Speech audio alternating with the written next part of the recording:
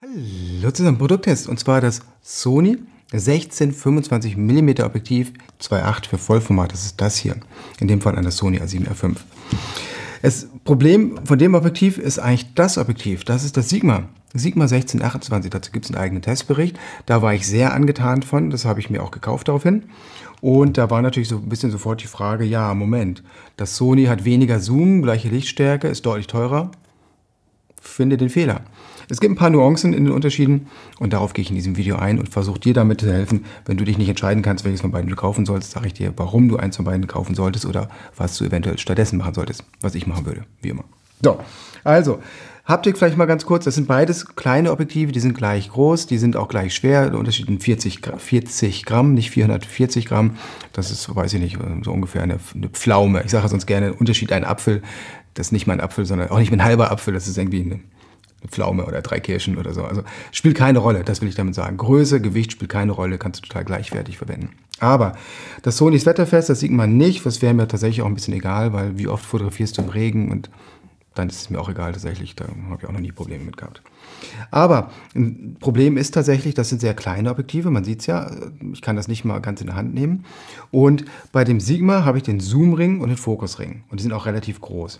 Gerade der Zoom-Ring ist natürlich der wichtige, das ist der hintere. Das heißt, so halte ich das Objektiv. Ich habe die Finger an dem Zoom-Ring und der ist breit genug, der ist ziemlich genauso dick wie mein dicker Daumen. Ich habe so Metzgerhände. Das geht sehr gut. Bei dem Sony ist der sehr schmal, an derselben Stelle aber sehr schmal, weil da noch Platz sein muss für den Blendenring. Liebes Sony-Team, ich weiß, ist ja nicht nur Sony, Sigma macht das sonst ja auch. Alle neuen Objektive kommen irgendwie mit Blendeneinstellungen. Was soll das? Was soll das? Also gerade bei so einem Objektiv verstehe ich null. Ähm, und die Folge ist halt der Zoom-Ring, den man ja sehr viel benutzt, der ist sehr klein. Das heißt, ich habe das Objektiv hier und ich muss erstmal gucken, Moment, welcher ist es jetzt von beiden, weil der so schmal ist, dass ich den kaum treffe. Der ist auch nicht sehr, steht nicht sehr doll hervor. Das hat Sigma viel besser gemacht. Also Haptik, Sigma ganz klar Gewinner. Äh, also tatsächlich so, dass es stört. Auch nach einer Woche täglichem Einsatz stört es mich immer noch. Äh, man gewöhnt sich wahrscheinlich dran. Es gibt auch noch Function-Buttons. Wofür brauche ich einen Function-Button bei so einem Objektiv? Was, schreib mir gerne einen Kommentar, was für eine Function packt man an das Objektiv ran? Also ich, je nachdem, wie man es benutzt halt, aber so ein Objektiv, Landschaftsfotografie und Video. Welchen Function-Button? Weil das so klein ist, du kommst dann dauernd dagegen. Deswegen, da muss ja irgendwas ran, was nicht schlimm ist, wenn du es nutzt, aber dann nutzt es auch nichts. Naja, kann man wahrscheinlich anders sehen. Ich bin schon wieder zu negativ. Ne? Ähm, Objekt, ähm, ähm, ähm, Objektiv und optische Eigenschaften, so wollte ich sagen. Äh, mir haben mehrere von euch geschrieben, dass sie das Objektiv schon haben und sie haben alle ohne Ausnahme geschwärmt, wie scharf das ist und das kann ich bestätigen. Das Objektiv, ich zeige nebenbei die Kirche und egal, ob ich auf die Mitte schaue oder auf den äußersten Rand gucke, egal, ob ich bei Blende 2.8 oder Blende 4 oder 8 bin, das Objektiv ist wirklich knackscharf. Also auch die äußersten Ränder, es ist wirklich verrückt, was da heutzutage geht, äh, wie, wie viel da gegangen ist die letzten Jahre. Also das Sigma ist aber auch gut zeige das Vergleichsfoto vom Sigma. Wenn ich sie auf 100% nebeneinander packe, ich habe nicht genau den gleichen Bildausschnitt, weil zwei Kameras und nicht genau die gleiche Megapixelzahl, nicht genau den gleichen Sensor und so weiter. Also in der Praxis ist es trotzdem, es ist ein Tick schärfer. Aber nur auf 100% und nur bei als Pixelpieper. Das Sigma ist gut. Aber das Sony ist ein Tick schärfer insbesondere in den Rändern. Vignette haben die beide sehr stark. Das ist natürlich so, es ist ein Ultraweitwinkelobjektiv, das hat halt einfach das, ein kleines Ultraweitwinkelobjektiv, weil das ist schwierig, das klein zu bauen ohne Vignette. Vignette ist der dunkle Rand, der ist relativ stark. Bei Blende 4 ist der aber schon im Wesentlichen weg und bei Blende 8 dann sowieso. Aber 2.8 hat eine sehr starke Vignette. Das ist bei beiden so, das liegt in der Bauart, das lässt sich natürlich auch nicht verhindern. Dann ähm, Verzeichnung zeige ich nebenbei noch. Aber auch das ist halt einfach im Rahmen, das ist halt einfach so bei kleinen Ultraweitwinkelobjektiven. Ja, irgendein Tod muss man sterben. Aber das ist, das ist normal, also völlig gut und auch bei beiden ähnlich. Sonnensterne, beide erzeugen Sonnensterne. Sonnensterne erzeugst du, indem du die Blende zumachst, das heißt eine große Zahl einstellst, 11, 16, 22. Und Flare sind störende Elemente drin. Ich zeige beide Objektive gegen die Sonne gehalten, das sieht erstmal beides gut aus. Ich zeige dieses Foto, das habe ich heute Morgen gemacht auf dem Weg zur Arbeit und ähm, da sieht man sehr deutlich störenden Flair. Das Problem ist ein bisschen folgendes. Du hast eine leicht gewölbte Linse, da ist ein bisschen Staub drauf, gar nicht viel. Also ich hatte extra geguckt, oh nö, das passt.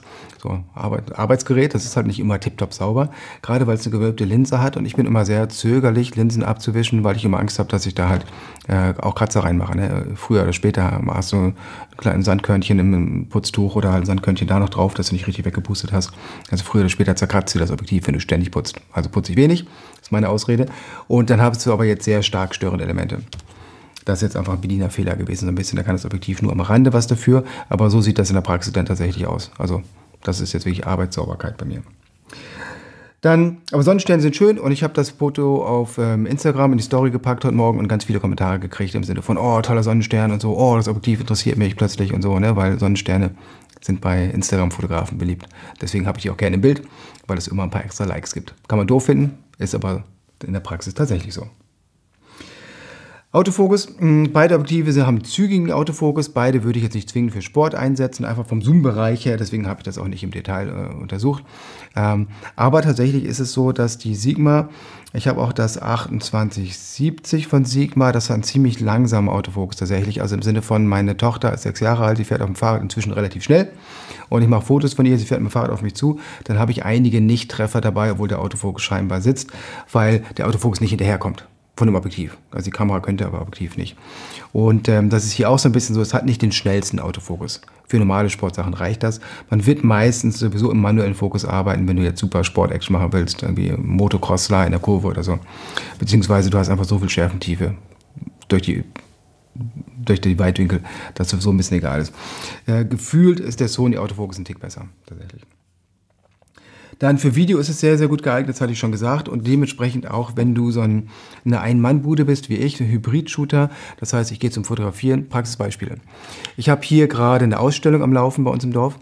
Und da war letzte Woche die Vernissage. Das heißt, wir haben dann die Bilder aufgehängt und dann war die Vernissage. Und ich habe Fotos und Film gemacht. Also ich habe mich hingestellt, ein bisschen was erzählt, was ich da mache mit der Vernissage. Und habe dann auch noch ein paar Bilder gemacht von meinen Fotos natürlich.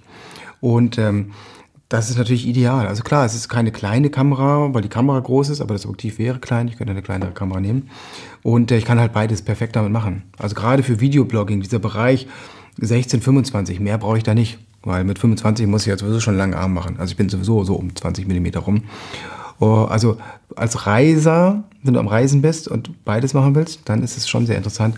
Aber das gilt für das Sigma natürlich genauso. So, also man muss aber dazu vielleicht noch sagen, es ist halt ein Blende 2.8 Objektiv, was völlig reicht, wenn ich es mir nahe vors Gesicht halte. Ich filme aber jetzt mit dem 24 mm Sony auf Blende 2.2 in dem Fall. Ich bin jetzt nicht super dicht dran, also ne, Armreichweite. Da kann ich halt hin und wieder mal nah rangehen, auf Blende 1.4 gehen und habe den Hintergrund, trotz Weitwinkel, habe ich den Hintergrund mal unscharf. Ne? Mache ich meistens nicht, weil ich den zeigen will, aber wenn man das mal möchte, hat man die Möglichkeit. Das hast du hier natürlich nicht. So, Fazit. Welches von beiden würde ich jetzt empfehlen? Tatsächlich, der Preisunterschied ist aktuell noch sehr hoch. Und es fällt mir schwer zu sagen, es ist ein Tick schärfer und es ist wetterfest und der Autofokus ist wahrscheinlich auch so ein Tick besser, was ich nicht wissenschaftlich untersucht habe. Ähm, dafür würde ich persönlich den Aufpreis jetzt nicht zahlen, aber vielleicht ist es für dich relevant. Ähm, wenn der sich ein bisschen annähert, dann ja klar, würde ich das nehmen, weil mehrere von euch haben mir geschrieben, sie nehmen das als Ersatz für das G-Master. So quasi G-Master-Schärfe für den G-Preis ohne Master. Ganz ehrlich, wenn jetzt Haus abbrennt, alles weg bei mir, würde ich keins von beiden kaufen. Ich würde das G-Master, also 1635 kaufen. Ich zeige nochmal den Unterschied. Ähm, 16, 25, 28. Der Zoom 25, 28 ist nicht wirklich viel Unterschied, weil da kannst du kroppen. Ne, also wenn du die, das Sony nimmst und kroppst ein bisschen rein, dann hast du gleiche Bildausschnitte. Das geht natürlich und du verlierst wenig Pixel. Aber von 16 auf 25 auf 35, also nochmal 10 mm mehr, irgendwann ist es halt schon viel. Ne? Also da muss man sich selbst ein bisschen, also ich würde das G-Master nehmen, weil ich diese mehr Flexibilität habe. Weil 35 reicht mir häufig auch nicht. Eigentlich hätte ich gerne einen 1650 oder so. Ne? Klar, mehr ist besser. Und ich habe nochmal einen Tick mehr Schärfe und so, aber, aber, aber, aber, aber, aber, ne? 100% Pixel-Peeping in der Ecke und so. Also nicht so, dass es relevant ist. Also ganz ehrlich, das 1635 ist sehr, sehr gutes Objektiv. Aber das ist auch echt wirklich gut. Und das ist auch gut also Preis-Leistung ist hier natürlich besser. Ein Tick mehr Schärfe. Naja, sei dahingestellt. Wenn ich jetzt ganz viel reisen würde mit leichtem Gepäck und Geld spielt mir keine Rolle, ja klar, nehme ich das, ist ein Tick besser. Äh, Geld spielt eine Rolle, nehme ich halt das. Ich habe mehr Angst, dass geklaut wird, ich nehme das. Ich habe oft Handschuhe an, ich nehme das Sigma, weil die Haptik äh, mit Handschuhen wird natürlich nochmal schlechter. Also das ist wirklich schade, schade, schade, schade. Sie wollten wahrscheinlich viele Features reinpacken, um hohen Preis zu rechtfertigen. Äh, weniger wäre besser gewesen. Wirklich. War, war so mein Ding. Also mich stört diese Haptik tatsächlich sehr. Na gut, Falls du die kaufen möchtest, habe ich noch einen guten Deal für dich. Du kannst bei unserem Partner Fotohama mit Punkten von Zielfoto bezahlen. Du kannst auf Zielfoto, auf unserer Webseite zielfoto.com, da kannst du Punkte sammeln, zum Beispiel indem du Testberichte verfasst, indem du deine Ausrüstung hinterlegst, indem du aktiv bist da. Dafür gibt es Punkte, Gamification. Und mit den Punkten kannst du tatsächlich bezahlen. Das heißt, du kriegst das Objektiv günstiger, wenn du einen Teil des Preises mit Punkten begleichst. Alles. Ich verlinke das, da kannst du nochmal in Ruhe nachlesen. Ich hoffe, das war so ein bisschen hilfreich. Egal welches von beiden du hast, du wirst mit beiden wahrscheinlich viel Freude haben. Und wenn du ähm, dich für das G-Master oder eins von dem anderen interessierst, wie zum Beispiel das hier oder auch das Tamron 1728 gibt es ja auch, findest du alles bei mir auf dem Kanal. Einfach mal suchen nach Wiesner Tamron 1728 zum Beispiel. Dann findest du da auch das Bericht zu. In diesem Sinne, bleib gesund. Tschüss.